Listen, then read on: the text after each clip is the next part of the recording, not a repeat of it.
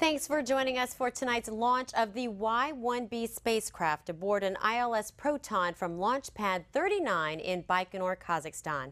The Y-1B launch aboard the ILS Proton is a collaborative effort between ILS, International Launch Services, satellite operator Al Yah Satellite Communications Company, known as Yahsat, and spacecraft manufacturers Thales Alenia Space and Astrium.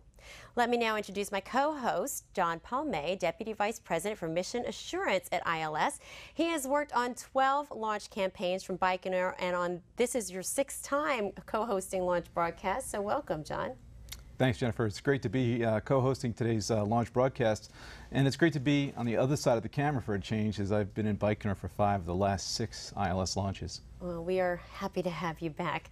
Well, let's take our first look at the Y-1B satellite aboard an ILS Proton and get a report on the weather conditions. John? Well, Jennifer, as you see here, Y-1B is ready to launch aboard an ILS Proton from Launch Pad 39 in Area 200 of the Baikonur Cosmodrome. The Proton is specifically designed to launch in most weather conditions, including extreme hot and extreme cold. There are very few weather conditions that could cause a delay in a Proton flight. Uh, the current weather readings at the Baikonur Cosmodrome indicate that we are within range limits for liftoff. And at last check, we had mostly clear skies, a liftoff temperature range of 10 to 13 degrees Celsius, which is about 50 to 55 degrees Fahrenheit.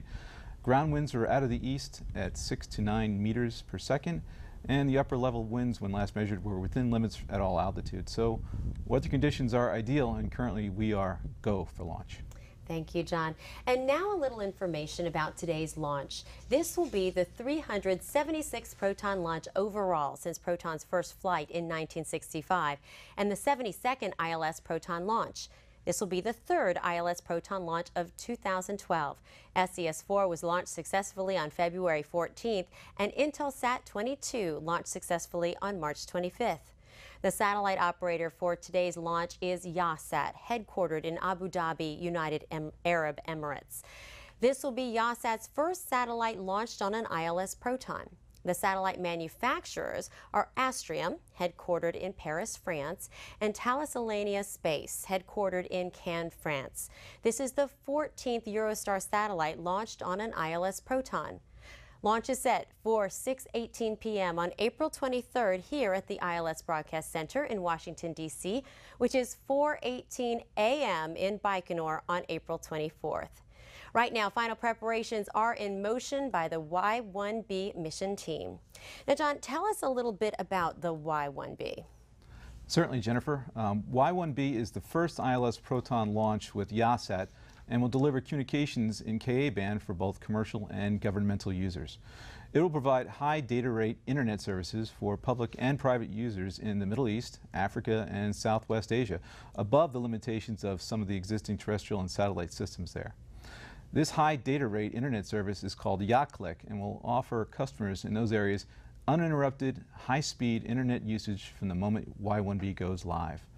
Y1B's commercial communication payload uses state-of-the-art Ka-band multi-spot beam technology, achieving cost-effective bandwidth supply through 61 narrow, beams, narrow spot beams.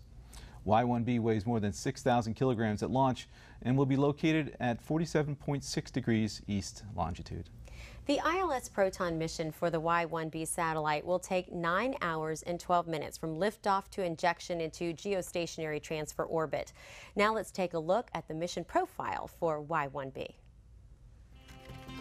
The following is the description of the geostationary transfer orbit mission flight profile of the ILS Proton launch vehicle with the Y-1B communication satellite on board.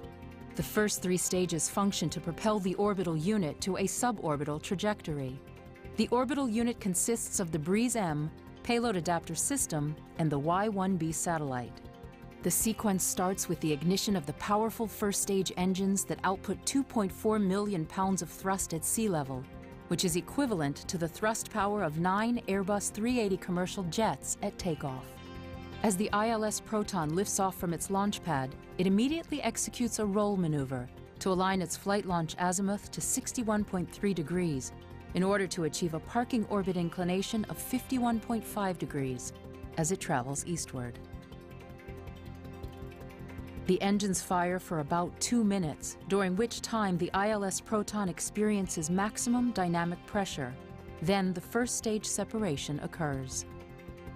The second stage engines follow with nearly 540,000 pounds of thrust for 3.5 minutes.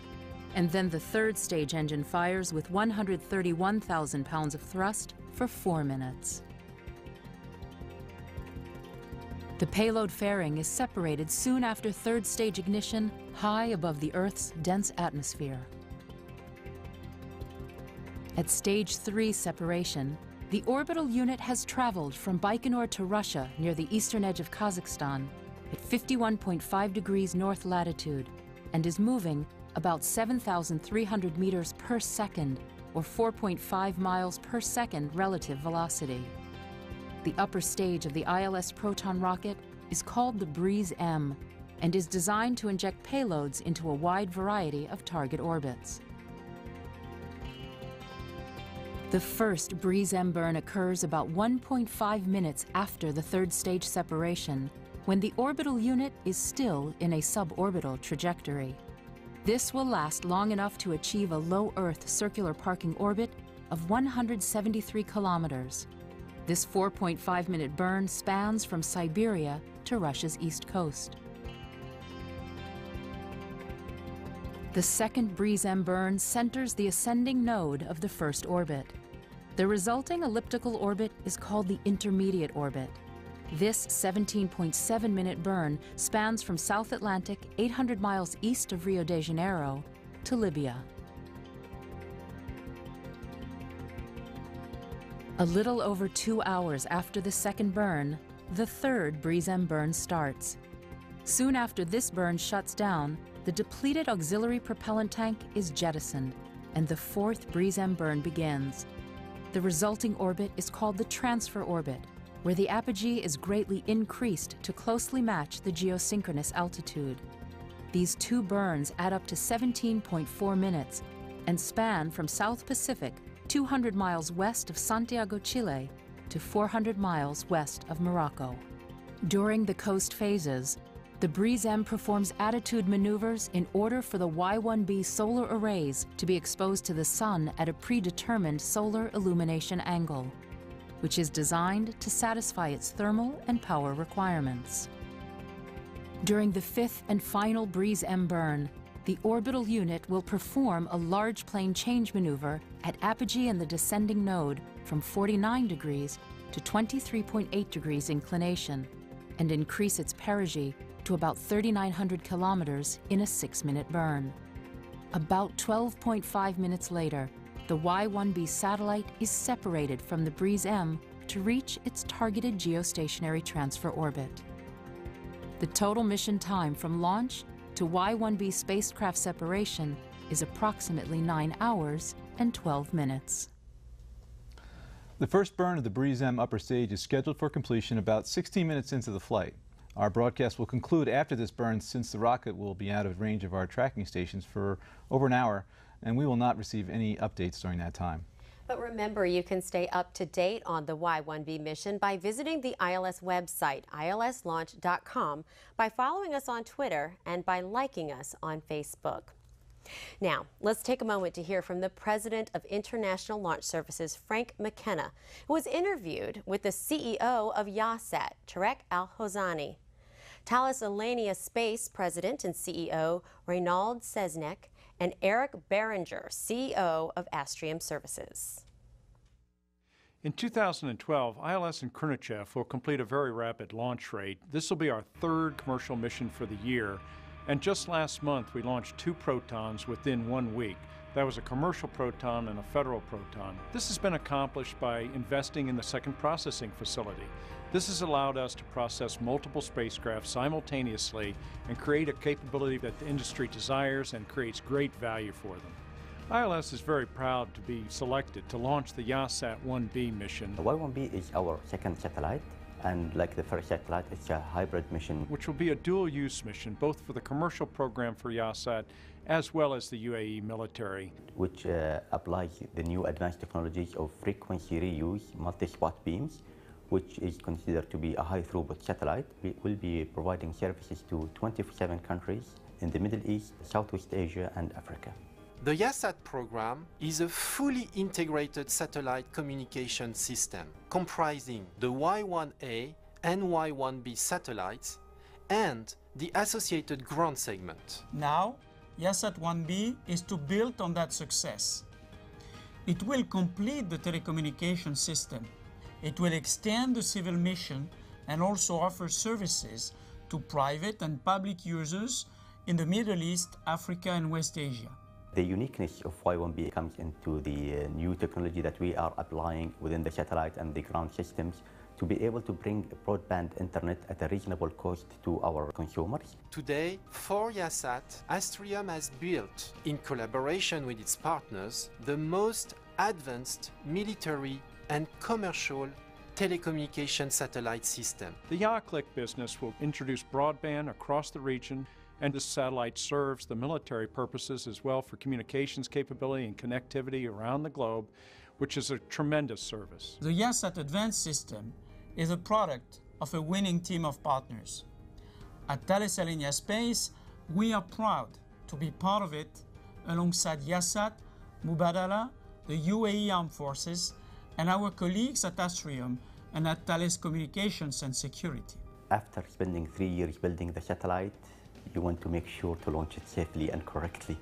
Uh, ILS team, through their professionalism, uh, attention to details, and quality process, uh, were a great partner, and we thank them for that. And uh, we are very proud with the relationship that we developed together to reach this successful day, inshallah.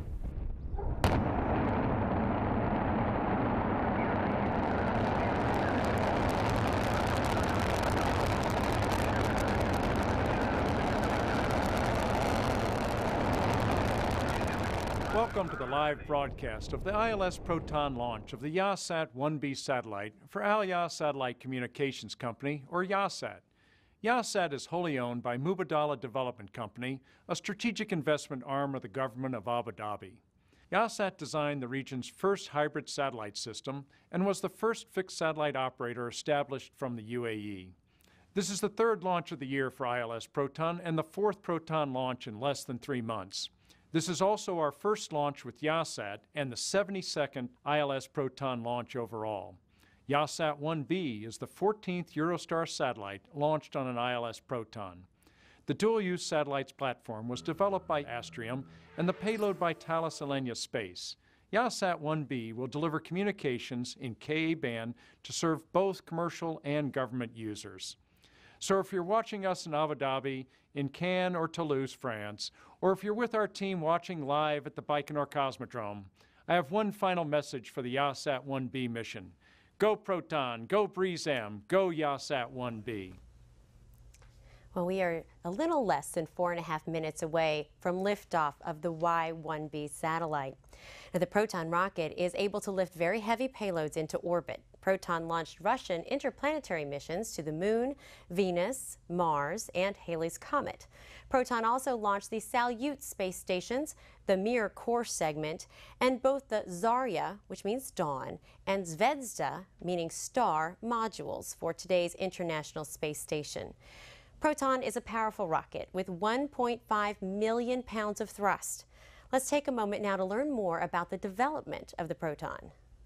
The Proton launch vehicle is the backbone of the Russian space industry with a long and significant history. Here are some quick facts. The Proton is the largest and most powerful Russian launch vehicle in operation. It has been launched more than 350 times since the mid 1960s. Khrunichev Research and Production Space Center, the majority owner of ILS, is one of the pillars of the Russian aerospace industry and manufactures both the Proton rocket and the Breeze M upper stage. While the first Proton mission was in July of 1965, the first commercial Proton launch took place almost 30 years later in April of 1996. The UR 500 vehicle's first three payloads were spacecraft called Proton 1, 2, and 3, and subsequently, the launcher was named after its original payload. Khrunichev manages federal launch missions while ILS offers the Proton for commercial satellite launches. There are about seven to eight commercial missions a year and three to five federal missions, launching at a rate of about one per month. The Y1B mission team for this ILS Proton launch is made up of representatives from ILS, Yahsat, Khrunichev State Research and Production Space Center, and manufacturers Thales Alenia Space and Astrium. Here's a message from ILS Y1B Program Director Russ Prytula. Hello, bonjour, and privyet from the Baikonur Cosmodrome. I'm Russ Prytula, the ILS Program Director for the Yahsat 1B mission. This is the first of four launch campaigns that I will support this year. While it was certainly a challenge to initiate this campaign, now that we're here, I'm amazed at how well everything has progressed. We have a rather complex team structure for this particular program, but all of the teams have meshed together in a very collaborative manner. I believe that our contractual customer Thales and our end customer Yahsat are both pleased with the execution of this launch campaign. While we arrived in Baikonur at the tail end of the wintry weather, on St. Patrick's Day to be exact, we have really enjoyed the transition into springtime, and in fact, uh, summertime as it feels right now. And we've been able to observe the local landscape as it comes back to life in its own special way. Let me take this opportunity to offer my sincere appreciation to all of the teams involved in this launch effort. And we hope we will be working with this customer many more times in the future. In summary, this time in Russian, Vpirot Proton, Vpirot Prizem, Vpirot Yahsat. All right, we are going to the launch shortly. We're going to take you there in just a moment. Now, John, you were telling us that conditions are perfect today, aren't they? Yeah, the weather conditions are very nice uh, for the launch. It's a uh, clear night, so uh, we expect the teams down in Baikonur should be able to uh, observe the launch uh, as it heads uh, downrange in a northeasterly direction. Now, John will take us through the final pre-launch preparations and through liftoff of Y1B. John? Looking at a live shot at uh, Baikonur, today's launch of the Y-1B satellite on ILS Proton is a result of an accumulation of a lot of hard work and long hours uh, from everybody on the launch team, and they're all eagerly awaiting the liftoff um, in their places in the control rooms, in the bunker, ground stations, and comm centers. And the final poll, go for launch polling, as we mentioned earlier, is being completed at this time.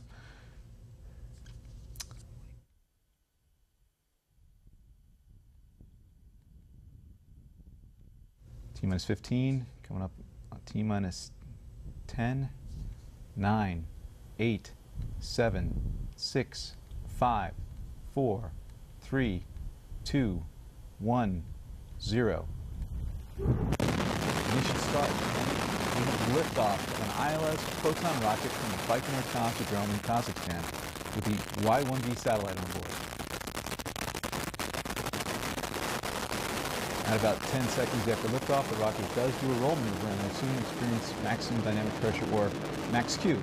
Max-Q is the maximum aerodynamic load on the vehicle, and it corresponds to about Mach 1.6 and occurs 1 minute, 2 seconds after liftoff. Everything seems to be proceeding nominally as the vehicle heads in an easterly direction with a flight azimuth of about 61.3 degrees.